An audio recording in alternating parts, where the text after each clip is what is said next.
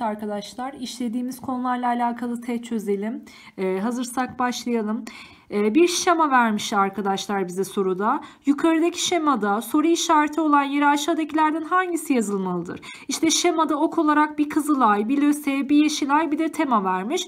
Bunlara başlık olacak e, cümleyi soruyor, kelimeyi soruyor arkadaşlar bize. Bunlar neye örnektir? Bunlar tabii ki de sivil toplum örgütlerine ait olan kavramlardır. O yüzden cevabım B şıkkı olacak arkadaşlar. Şöyle ikinci soruya bir bakalım. Şimdi Mustafa Bey demiş ki beyefendi neden çöplerinizi çöp kutusuna değil de ortalığa atıyorsunuz? İşte diğer bir kişi diyor ki bu sizi ilgilendirmez. Yukarıdaki sözlerine bakıldığında Mustafa Bey hakkında aşağıdakilerden hangisi söylenemez? Şimdi Mustafa Bey karşı tarafa çöp atan, çevreye çöp atan kişiyi uyardığı için duyarlı bir insan mıdır? Evet duyarlı bir insandır. Duyarsız kalmamıştır ve ona ikaz etmiştir arkadaşlar. E cesaretli midir? Evet cesaret göstererek karşı tarafı uyarmış vermiştir. Bilinçli bir kişi midir? Kesinlikle bilinçli bir kişidir. Fakat çıkarcı bir kişi midir Mustafa Bey? Böyle bir şeyde hiçbir şekilde çıkarı olamaz. Cevabımız C şıkkı olacak arkadaşlar. Diğer bir soruya bakalım. Sakarya Meydan Savaşı'ndan önce ordumuzun ihtiyaçlarını karşılamak için tekalifi milli emirlerini yayınlayarak milletimden çorap, çamaşır, çarık, silah, giyecek ve yiyecek istedim. Bunların da katkısıyla savaşı kazandık diyor Mustafa Kemal.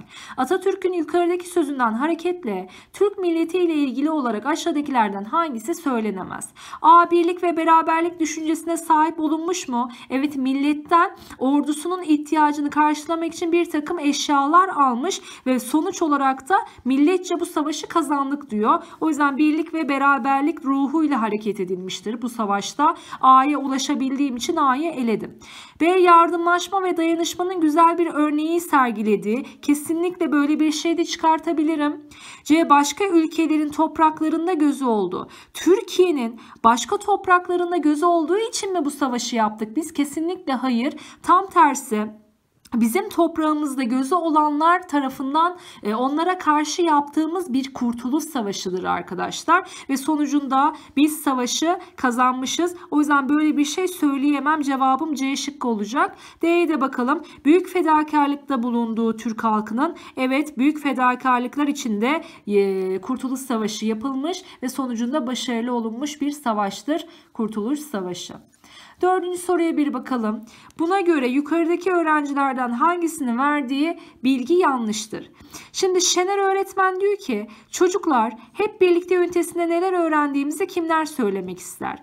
Erde adlı bir öğrenci demiş ki grup içinde sorumluluklarımız yerine getirmemiz gerektiğini öğrendik. Erdi doğru bir ifade kullanmış. Grup içindeki sorumluluğu öğrendik diyor.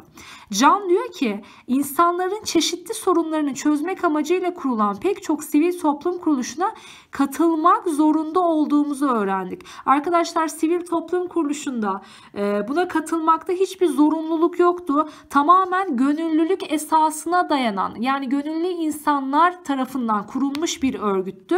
Hiçbir şekilde zorunluluk olmadığı için Can'ın ifadesi yanlış olacak. Ama diğer öğrencilerin ifadesine de bakalım. Sıla demiş ki okuldaki sosyal kulüplerin bize pek çok katkısı olduğunu öğrendik. Evet bu doğru bir ifade. Ezgi demiş demiş ki ülkemizde sağlık, eğitim, güvenlik, adalet gibi alanlarda kurulan resmi kuruluşları öğrendik. Evet bu da doğru. Can'ın söylediği yanlış. Cevabım A şıkkı olacak arkadaşlar. Devam edelim. Şu soruya da bir bakalım. Yukarıdaki sözlerine bakıldığında Selim ve Duru'nun okullarında aşağıdaki sosyal kulüplerden hangilerini seçmeleri daha doğru olur?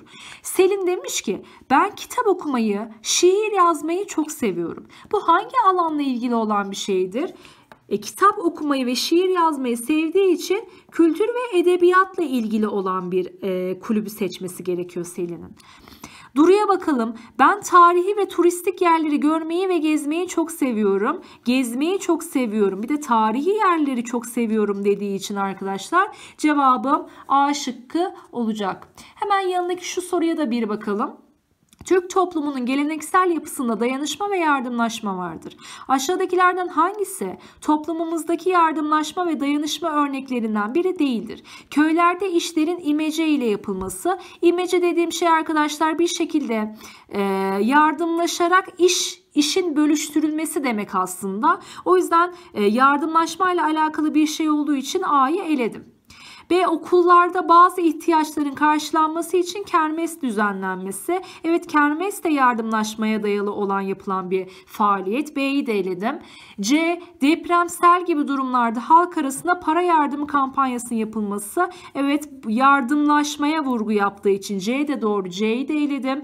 D. Düğün ve asker uğurlamalarında havaya ateş edilmesinin yardımlaşmayla hiçbir alakası yoktur. O yüzden cevabım D şıkkı olacak arkadaşlar.